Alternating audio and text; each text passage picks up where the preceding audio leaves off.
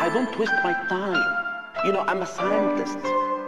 I'm a scientist. It's great to see everybody here. It's going to be, I think, a good chat. We're going to uh, get into a bunch of stuff that came up on the last Egypt trip, some of our learning, some of the things we unlearned. It's going to be a lot of fun.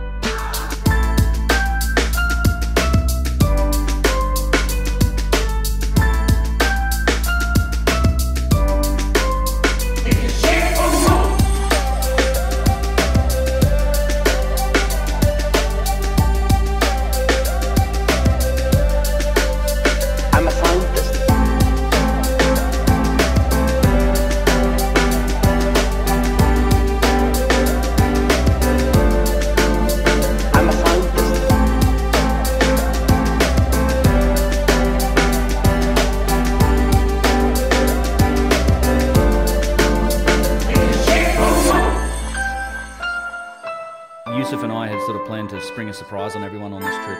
So when we talk a lot about the stone vases, the ones that they have in the museums, they're actually all over the world in, in museums all over the place. But and there was more than 40,000 of them found beneath the step pyramid at Saqqara, which is supposedly the first pyramid.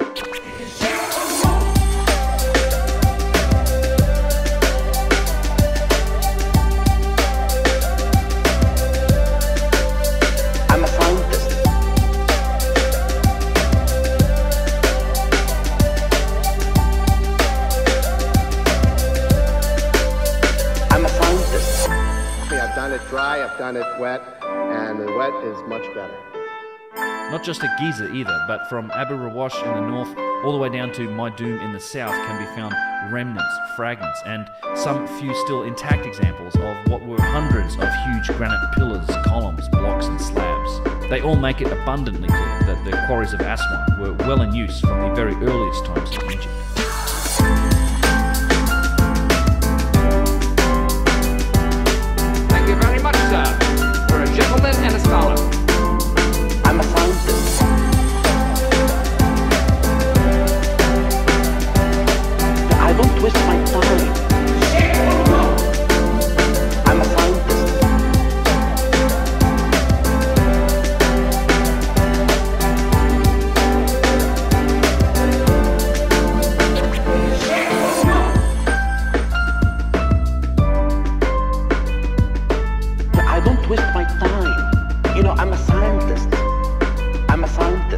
Wow! You popped right out of there. Oh, Look at yeah, that.